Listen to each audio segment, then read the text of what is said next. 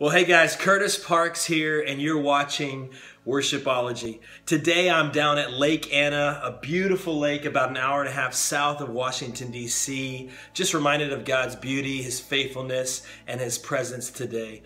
Uh, on the way down here, I had a phone conversation with a good friend who's going through a bit of a tough time. He actually said, I'm in a season where it feels like I'm in warfare. And it just reminded me of this amazing thing that we have with worship, right? Worship is warfare. There's times where we come together as a body of Christ with a song of praise, and it's more like a battle cry. We're so desperate for God's presence and to see His presence move in our lives. It reminded me of this amazing story in Second Chronicles chapter 20. It's the story of Jehoshaphat's army. Uh, now, there's three nations that are coming up against Israel. Things don't look good for King Jehoshaphat, but he calls on the Lord. This is what it says uh, as he asks uh, people to come to a fast. All of Judah gathered together in verse 4 to ask for help from the Lord. Then you go over to verse 14. It says, The Spirit of the Lord came upon Jehaziel, the son of Zechariah, son of Benaiah, son of Jael, son of Mattaniah, a Levite now you remember the Levites were the tribe that was designated to take care of the tabernacle, to worship. They were basically the early church staff. And so it's very important that Jehaziel is of that line.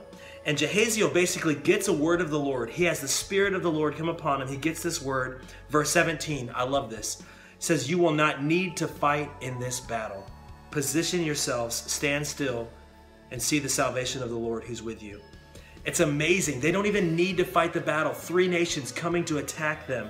Go down to verse 20. He said, So they rose early in the morning and went out into the wilderness. And, and, and Jehoshaphat stood and said, Hear me, O Jerusalem, and all you inhabitants. Believe in the Lord your God, and you shall be established. Believe in his prophets, and you shall prosper. And when he consulted the people, he appointed those to sing to the Lord and praise the beauty of his holiness.